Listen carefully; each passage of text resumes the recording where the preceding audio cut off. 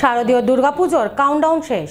মধ্যে আছে মাত্র কয়েক ঘণ্টা। তারপরে বৈদিক মন্ত্র উচ্চারণে মুখরিত হয়ে উঠবে প্রতিটি প্যান্ডেল। পুজোর জন্য বিশেষভাবে ব্যস্ত যুবতীরা। নিজেকে সুন্দর ও আকর্ষিত করে তোলার জন্য বিউটি পার্লারগুলোতে দীর্ঘ লাইন পরিলক্ষিত হচ্ছে। ফেসিয়াল, স্পা হাইড্রোফেশিয়াল করাতে ব্যস্ত পার্লারের কর্মীরা। সকাল ছটা থেকে রাত বারোটা অবধি চলছে পার্লারের কাজ। প্রায় প্রতিটি পার্লারই যুবতীসহ মহিলাদের ব্যাপক ভিড় পরিলক্ষিত হচ্ছে।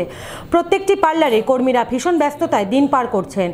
করিমগঞ্জে গ্রামাঞ্চল থেকে শুরু করে পার্শ্ববর্তী রাজ্য ত্রিপুরা থেকেও যুবতীরা করিমগঞ্জের পার্লারগুলোতে ভিড় জমিয়েছেন। নাম সুপ্রিতা দাস তিন ঘণ্টা থেকে দাঁড়িয়ে আছি। কিন্তু বোরিং লাগছে না কারণ পুজো এসেছে তো ভিড় থাকবে। ভিড় না থাকলে কি ওরকম হবে নাকি? একটা আনন্দ মতো হবে না। আর পুজোতে যদি সাজি না থ্রেডিং করি না তাহলে ভালো লাগবে না। আর ভিড় দেখে যদি আমরা চলে যাই তাহলে তো হবে না। পুজো এসেছে ভিড় থাকবে সব কিছুই থাকবে। বোর হচ্ছে নাকি? না বোর হচ্ছে না। কারণ কারণ থ্রেডিং তো করতেই লাগবে বুড়ো হলে হবে নাকি তো পূজা নিয়ে কি স্পেশাল কিছু প্ল্যান আছে নাকি পূজার পুজোতে সাজা তো পুজোতে তো ঘুরবো সব কিছুই করবো পুজো এসেছে বছরে একবারে আসে দুবার তো আর আসে না তাহলে থ্রেডিং করতেও কি আর বেরা হবে না কিছু হবে না अंकिता चक्रवर्ती अं, तो कितना टाइम से यहाँ पे है आप दो तीन घंटे से यहाँ पे वेट कर रही थी और अभी तो फेशियल करवा रही हूँ मैं हर महीने यहाँ पे ही आती हूँ। दीदी लोग बहुत अच्छे तरीके से कर करके देती है यहाँ पे।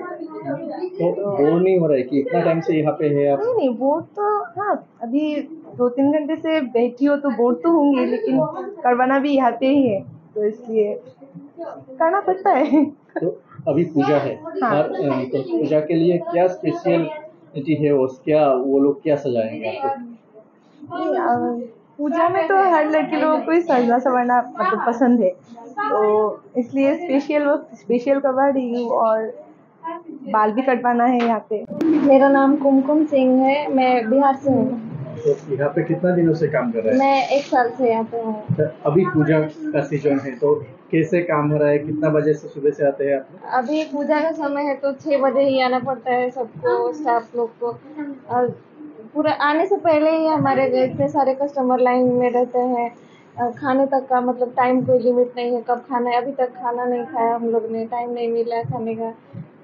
सारे लोग पूजा के लिए सब कुछ चाहिए फेशियल चाहिए स्ट्रेट चाहिए सब कुछ करवाने आ रहे हैं तो वैसे ही करना पड़ रहा है। छः बजे तक गया था। लेकिन बहुत कस्टमर था वो खुलने के पहले ही कस्टमर लाइन लगा फिर था। तो खाना पीना कैसे होता है? खाना पीना तो मालूम नहीं।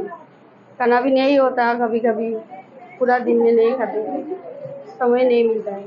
कितना वो बहुत है तीन चार सौ कस्टमर थे। वो तो मुझे बहुत खुश लगता है। इतना कस्टमर देख कर लेकिन सब कुछ ठाक